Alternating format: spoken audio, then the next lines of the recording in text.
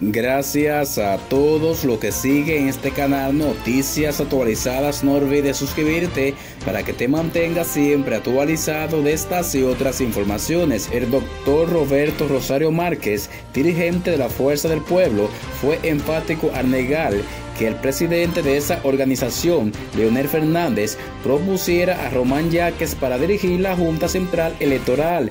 Román Yaques no lo puso Leonel Fernández.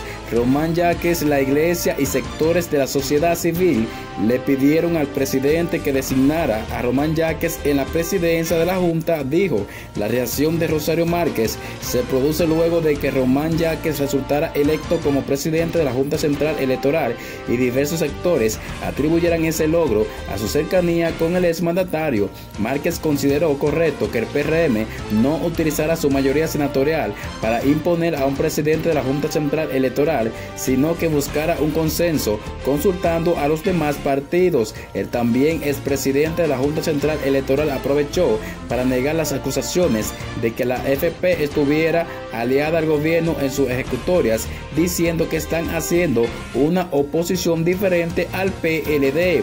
Gracias amigos por seguir esta noticia. Recuerda suscribirte. Nos veremos en un próximo video.